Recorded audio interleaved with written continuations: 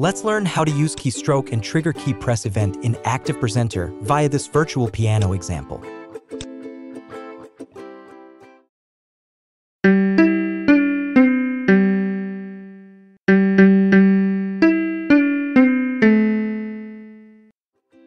First, you will need to get to know what keystroke object is.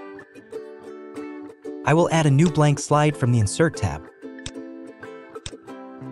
Then add keystroke object in Interactions.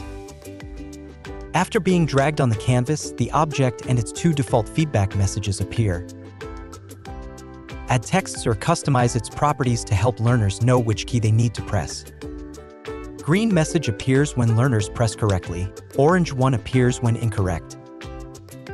Now, let's add interactivity to this keystroke object. In the Interactivity tab of the Properties pane, you will add correct value for this object. Just press any key on the keyboard to choose the value. Here, I press space as the correct one. Then set attempts as infinite to allow learners interact with the object many times. Let's preview the result. Right now, I'm pressing different keys on the keyboard, but none is correct. Now I will press space. Immediately, the green feedback appears. Now, let's come back to our virtual piano sample and learn how to trigger key press event. On the canvas, I have already added a keystroke object. In fact, this object can be a normal shape as we will set up events and actions later. Here, we will add no correct value because we will set up all interactivity in events and actions. When setting up like this, it means that each different audio will be played when you press a different key. For example, pressing A, S, D, F, G, H, J on keyboard will in turn trigger the 7C3 note audio files. Pressing keys following the instruction will create the full rhythm of this Jingle Bell song. So, download the sample and get access to the full tutorial I have placed links in the description box below. Now, let's learn how to set up these events, actions, and conditions. I will delete them all and start from beginning.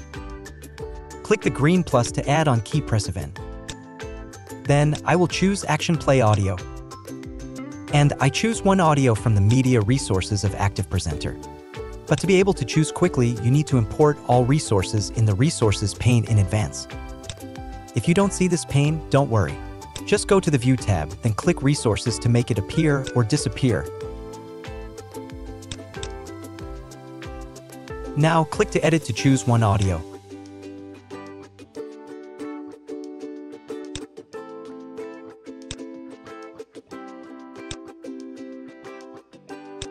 Then, add conditions so that this audio can only be played when learners press the right key. Choose the key you want to set for this audio.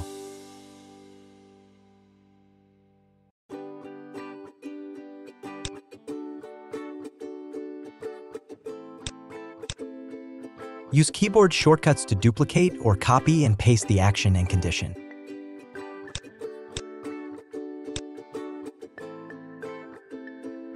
Then replace the audio file and the key to create another new action and condition for this object.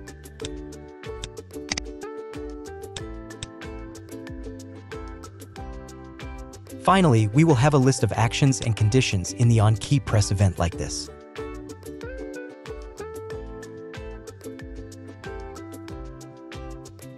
Let's listen to the result again.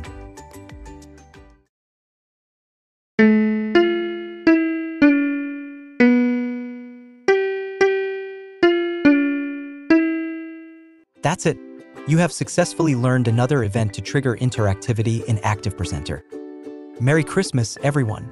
And don't forget to subscribe and watch other videos of us here. See ya!